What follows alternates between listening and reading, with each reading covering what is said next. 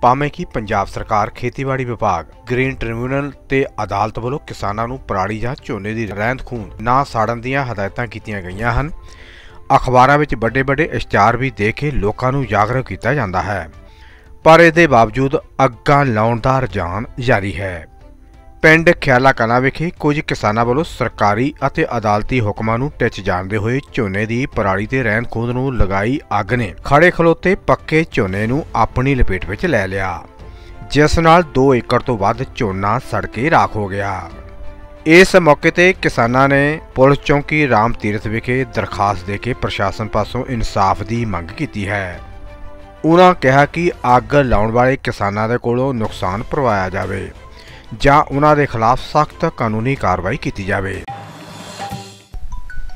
ਇਹ ਖਵਾਲੀ ਵਾਲੀ ਸਾਈਡ ਤੋਂ ਇਹ ਲੱਗੀ ਆ ਇਹ ਫੁੰਮਣ ਸਿੰਘ son of ਪਿਸ਼ੌਰਾ ਸਿੰਘ ਤੇ ਅਰਜਨ ਸਿੰਘ son of ਪਿਆਰਾ ਸਿੰਘ। ਇਹਨਾਂ ਦੇ ਖੇਤਾਂ ਨੂੰ ਅੱਗ ਆਈ ਆ। son of Karnail Singh. ਇਹਨਾਂ ਦੇ ਪੈਲੀ ਚੋਂ ਅੱਗ ਆਈ ਆ ਤੇ ਆ ਗਈ ਤੇ ਸਾਡੇ ਝੋਨੇ ਨੂੰ ਪੈ ਗਈ ਆ।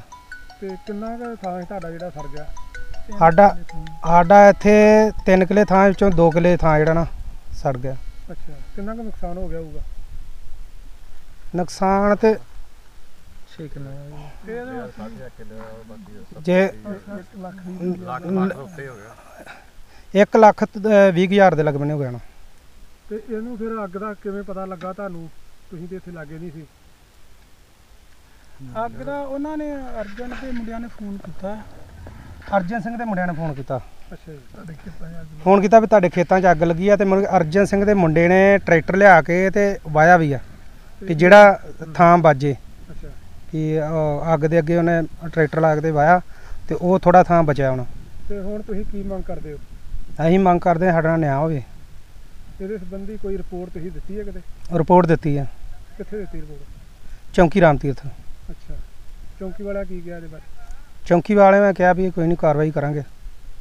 ਜੋ ਬੰਦੀ ਕਾਰਵਾਈ। ਹਾਂਜੀ, ਇਹਦੇ ਸਬੰਧ 'ਚ ਨਾ ਇੱਕ ਦਸਤੀ ਦਰਖਾਸਤ ਦਿੱਤੀ ਅੱਜ ਬਖਸ਼ੀਸ਼ ਸਿੰਘ, ਸਾਨੂੰ ਸਬੇਗ ਸਿੰਘ, ਵਾਸੀ ਖਿਆਲਾ ਕਲਾਂ ਨੇ।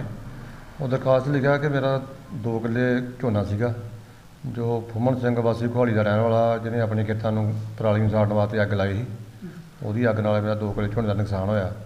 ਉਹ ਮੌਕਾ ਦੇਖ ਲਿਆ ਜੀ, ਮੌਕਾ ਦੇਖ ਕੇ ਜੋ ਬੰਦੀ ਕਾਰਵਾਈ ਉੱਤੇ ਦਰਖਾਸਤ ਕੀਤੀ ਜਾਵੇ ਜਿਵੇਂ ਕਿ ਸਰਕਾਰ ਵੱਲੋਂ ਬੜੀ ਸਖਤਾਈ ਕੀਤੀ ਜਾ ਰਹੀ ਹੈ ਇਹਦੇ ਵਿੱਚ, ਜੇ ਨਾੜ ਨੂੰ ਅੱਗ ਨਾ ਲਾਈ ਜਾਵੇ, ਕਿਸਾਨਾਂ ਨੂੰ ਰੋਕਿਆ ਜਾਵੇ ਕੁਝ ਕਿਸਾਨਾਂ ਦੇ ਇਹਦੇ ਸੰਬੰਧੀ ਪਰਚੇ ਵੀ ਹੋਏ ਨੇ ਪੰਜਾਬ ਦੇ ਵੱਖ ਵੱਖ ਥਾਵਾਂ ਤੇ।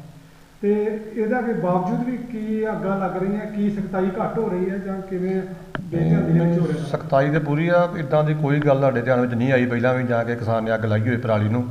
ਇਹ ਮੈਨੂੰ ਅੱਜ ਹੀ ਇੱਕ ਦਰਖਾਸਤ ਆਈ ਆ। ਉਹ ਜਾ ਕੇ ਮੌਕੇ ਦੇਖਾਂਗੇ ਵੀ ਕਿੰਨੇ ਲਾਈ ਹੈ ਕਿਉਂ ਲੱਗੀ ਹੈ ਜੋ ਵੀ ਹਾਲਾਤ ਹੋਣਗੇ ਉਹਦੇ ਮੁਤਾਬਕ ਜੋ ਬਣਦੀ ਕਾਰਵਾਈ ਕੀਤੀ ਜਾਵੇਗੀ, ਲੇਕਿਨ ਕਿਸਾਨਾਂ ਵੱਲੋਂ ਕੋਈ ਵੀ ਪਰਾਲੀ ਨੂੰ ਅੱਗ ਅਜੇ ਤੱਕ ਨਹੀਂ ਲਾਈ, ਨਾ ਹੀ ਮੇਰੇ ਨੋਟਿਸ 'ਚ ਆਈ।